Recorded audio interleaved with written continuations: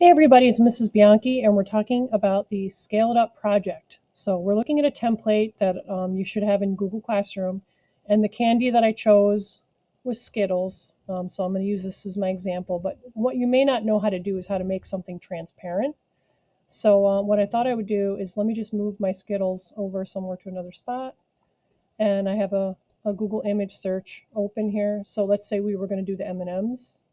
So what you want to do is you want to take a copy, copy image, and then you go back to your slideshow, and then you want to paste in your thing. Now, you're probably going to have to crop it. To crop it, you have to select the image, and then this is the crop tool up here, crop it.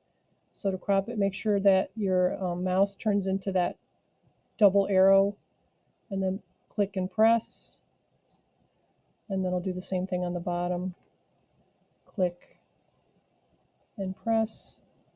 And then you want to resize it. And you want to make it a little bit transparent. Now, why do you want to make it transparent?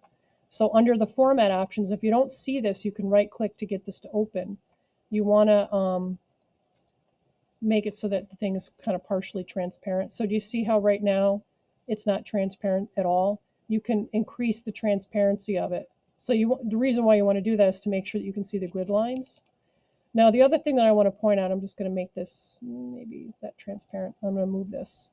Now the thing you want to choose is you want to choose something that um, will fit on the grid paper. The grid paper, if you look at the grid paper that I have here in the in the lower corner, I have one, two, three, four, five, six boxes by one, two, three, four, five, six boxes. So it's basically like a six by six grid because this isn't enough here. So you want to make sure that you resize your whatever it is that you're doing so that it'll fit on this paper.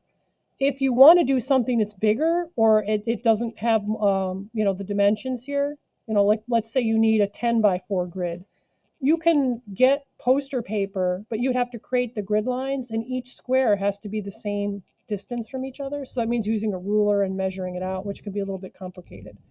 So um, I just wanted to show, I'm going to delete the M&Ms because I want to use the Skittles as, as the example here. And if we look at the example here, it does go across. It's one, two, three, four, five, six going this way, and it's one, two, three, four, five going that way. So that's going to work perfectly.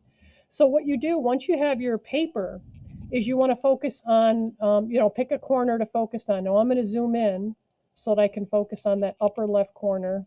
And I'll just pull this thing so we can see. And you want to kind of pay attention to what, so I'm going to draw in this square, I'm going to put what's in this box. I'm going to try to draw it. So what I see is I see like a little um, red skittle with an S on it. So I'm just going to try to draw that. And I'll try to put a little S here. I'm not even sure if you can see what I'm... So the S appears to be kind of like this. And then I would color that in red. So you would take out your colored pencils and color that in red. And then it looks like there's a little bit of blue here. So you would take your colored pencils and color that in blue. And then it looks like we have also underneath this, we have an orange skittle. So you would draw the orange skittle. It looks like it appears to be about like that. And then there seems to be an S on that as well. All right, so then you would take out your colored pencils and color that in. Now in the next square, if I focus just on this square right here, it looks like it's kind of partially shaded in red. So over here, I would use colored pencils to make this part over here red. And then I see a yellow, and then I see part of a green, which ends up going into the next square. And then I see part of a purple, which also goes into the next square. And then you would want to color it in. So you're basically taking one square at a time and focusing on your selected candy, or you don't have, it doesn't have to be candy. If you want to do um, like a, a bag of Doritos or something like that, that's perfectly fine. All right, now when you're all done, this will be a scaled up version of a Skittles um, candy wrapper. Now, the answer to the question, how do you fill in this part where it says, and I'll show you on the piece of paper, it says scale factor. Now, the really the only way you're going to be able to fill this in is if you actually have the real wrapper and you would have to figure out like how what how much bigger is like the S on the on the actual original packaging versus the one that you're drawing and that's how you would figure out the scale factor how much bigger is it like how many times bigger you would measure the s and let's say it's one inch and let's say you measure it on your on your drawing and it's two inches then you would, you would know that the scale factor has doubled. And you would put that in right here. All right, so hopefully uh, you'll be able to have a lot of success with this project. Um, I would like it colored and, you know, make it look pretty. Put your name on it. And when you're done um, with the project, make sure you just mark it as done in Google Classroom.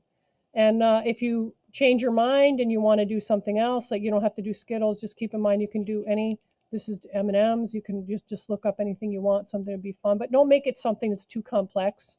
If there's like this looks pretty complex to me. If you were to choose this wrapper, choose something that's doable. All right. Hopefully you'll have fun with this project.